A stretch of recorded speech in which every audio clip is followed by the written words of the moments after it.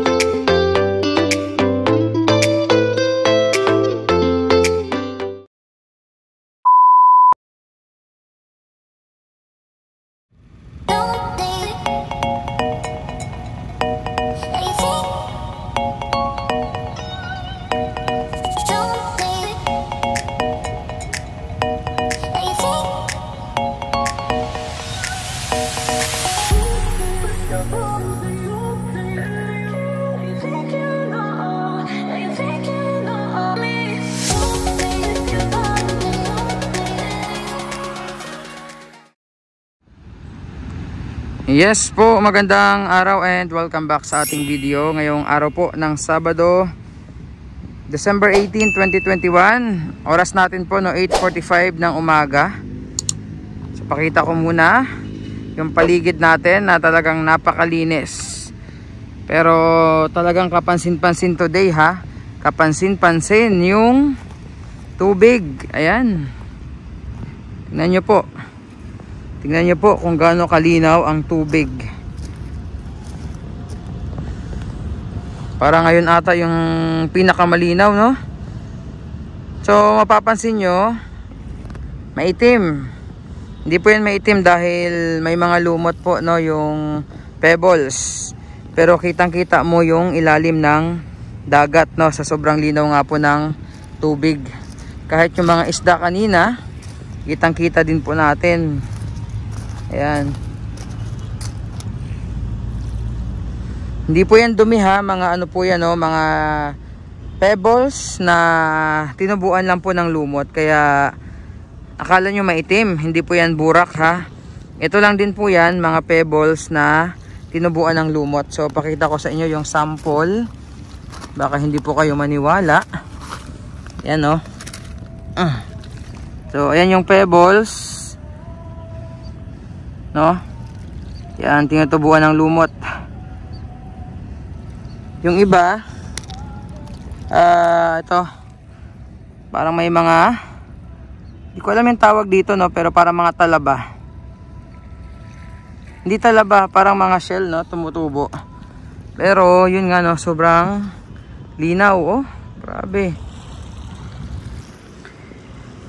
So titingnan, titingnan natin no kung ano yung naging effect sa dagat especially dito sa area ng Dolomite Beach doon sa ginawang pagtatapon ng bokashi balls tsaka ng paglalagay nila ng organic solution. Pero so far today no sobrang linaw talaga ng tubig. Ayan. Oh. Kahit hanggang doon sa may unahan, zoom natin oh. Di ba? Kitang-kita yung linaw ng kitang-kita yung ilalim ng dagat. Yan, talaga before no nung hindi pa nagsisimula yung Manila Bay Rehabilitation eh hindi mo talaga maaninag yan no, yung ilalim ng dagat. Oh, sobrang babaw pa doon sa may bandang gitna.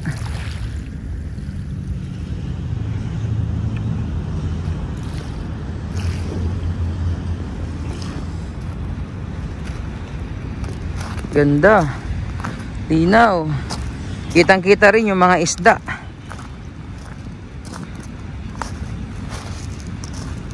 Oh. Parang hindi na nag-alisan yung mga isda dito, no? Sa nilatagan ng trash boom. Namahay na talaga sila dito. O, kita nyo, nagtatalunan po.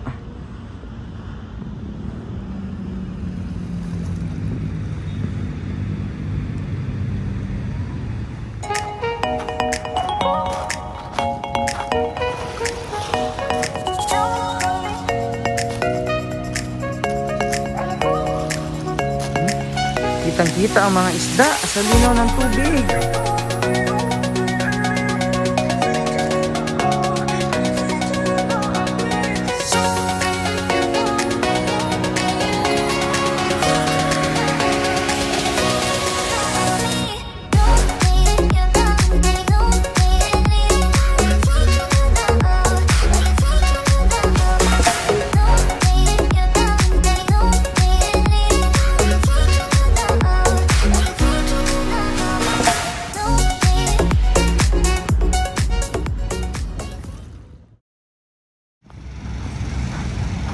Ayan. So sa ngayon, mukhang na-unload na lahat ng barge ng gray sand. Yung mga dumating no, na mga gray sand nitong mga nakaraang araw. And mag-aantay tayo ulit no ng panibagong barge ng gray sand na dadating. Tingnan nyo mamaya na papakita ko parang merong nabuong isla doon sa may bandang gitna. Yun yung mga uh, tinambak nila na gray sand. Lapit tayo doon sa may phase 2 para maipakita ko po sa inyo.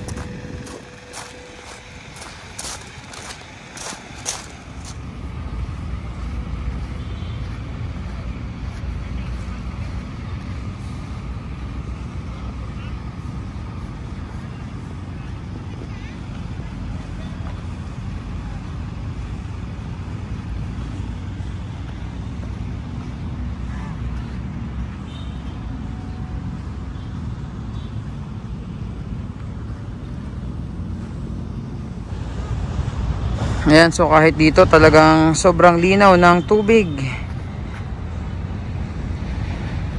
Ayan. So ayan po yung tinambak nila nung nakaraan. Zoom natin.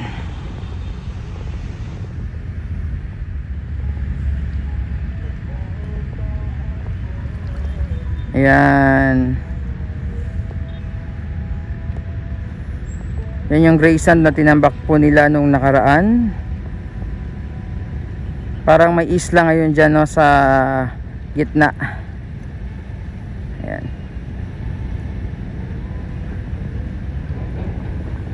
Nagmistulang isla. Tapos ito yung mga gumagawa ngayon dito. Dyan sa may ramp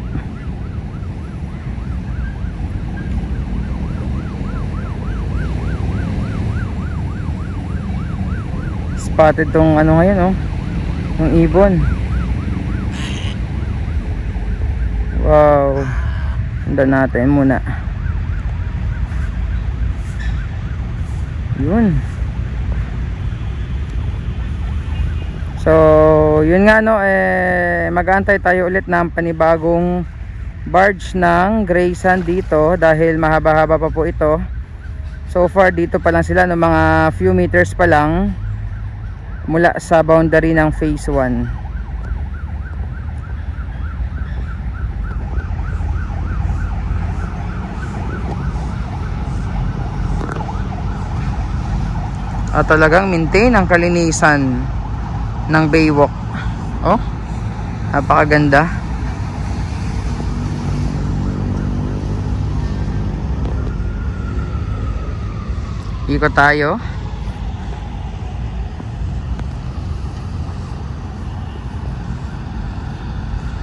Grabe napakalinis at ando na yung ibon kanina.